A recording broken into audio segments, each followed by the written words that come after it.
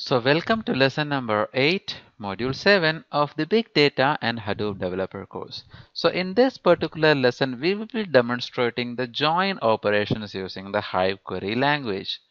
So before we proceed with the lesson let's have a quick recap of the previous lesson. So in the previous lesson we have learned about querying the tables using the Hive query language. So in this particular lesson we will be having a look at what are joins the types of joins and we will be demonstrating the concept of joins. A join is an operation in more than one data set that is two or more relations. So usually when will the join happen is whenever you have two or more data sets. While performing a join operation, we refer to the common columns in both the data set and based on that the output can be produced. Now, the join operator is used to combine records from two or more relations. While performing a join operation, we declare one tuple or a group of tuples from each relation as keys. Whenever there is a match in this key, the output is recorded, otherwise it is dropped. Now there are four types of joins called inner join, left outer join, right outer join, and full outer join. So first let's understand what is an inner join. Now imagine you have two data sets and there is a common column among the data set. Now when you perform an inner join, the process is going to compare both the data sets on the common column and wherever it finds a match in an entry on the common column the results are displayed.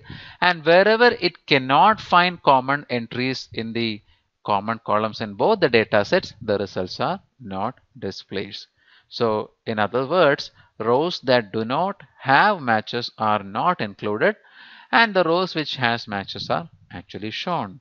That's called an inner join. And inner join is the default join operation in Hive. Now the other type of join is called outer join. In outer joins, records which do not match the other record set are still included. So when you do an outer join between two data sets, even if there are unmatched entries in the common column, the results are still being displayed. Based on which data set is dominant, there are three types of outer joins called left outer join, right outer join, and full outer join.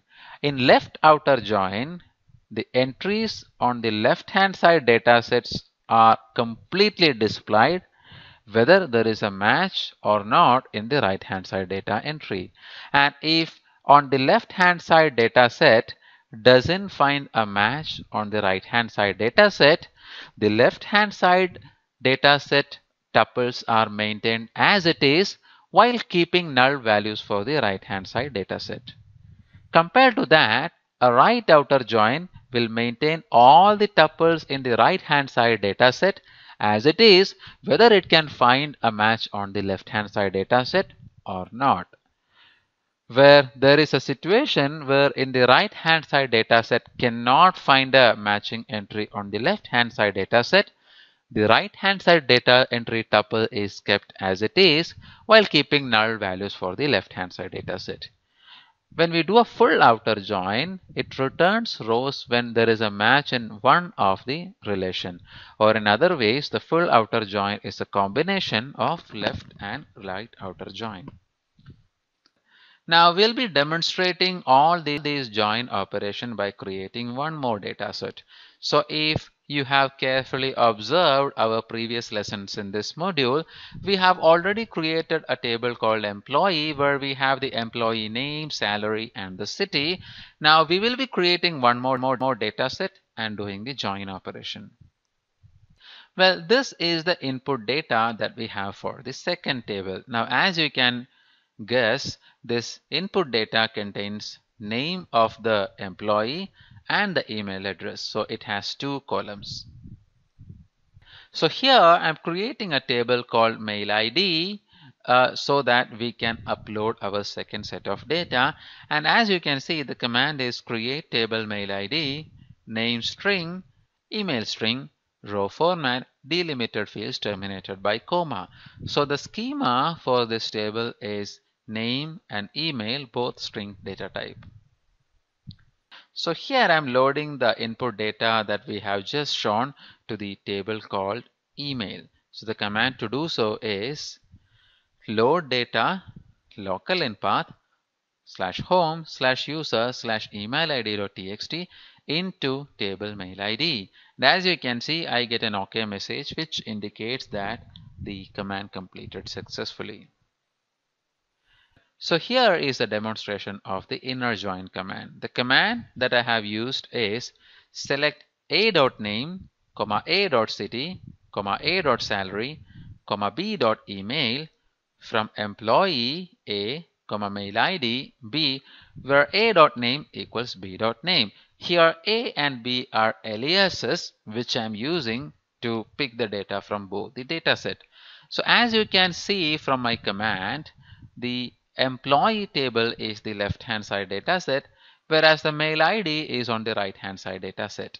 And I am reading the name, city, salary from the employee table and email from the email table.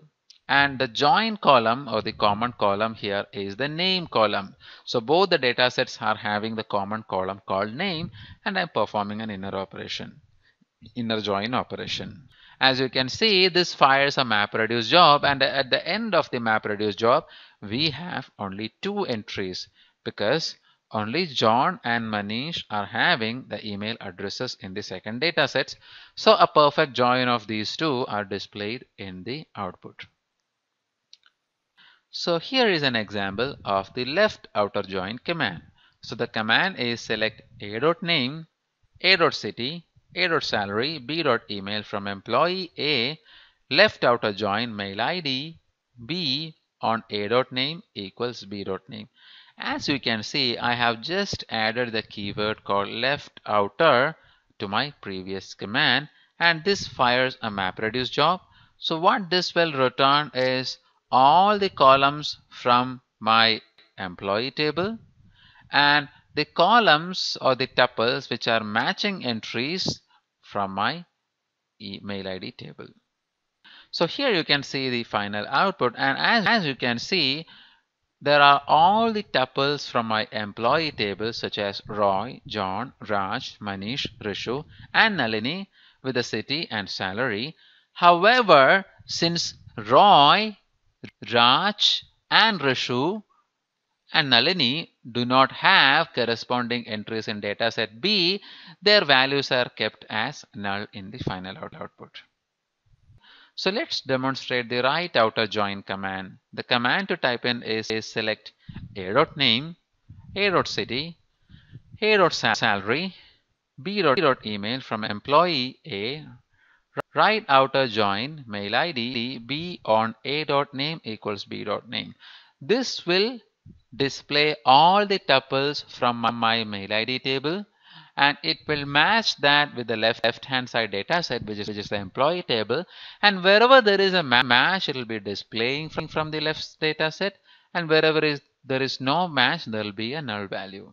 So here you can see the final output of my command and as you can see there are complete entries for John and Manish because these two users exist on both the data sets. Whereas for Nilesh, Deepak and Vijay, you have null values being displayed from the first data set. So this is a demonstration of the full outer join command and the command is select a.name, a.city, a.salary, b.email from employee A full outer join mail ID b on a.name equals b.name. As you can see, this returns a combination of left outer and right outer join, whereas I have the complete entries from both the datasets and the joined entries where I can see null entries for not matching records. So to wrap up in this particular lesson, we have learned about the join operation in Hive. That's all for this lesson.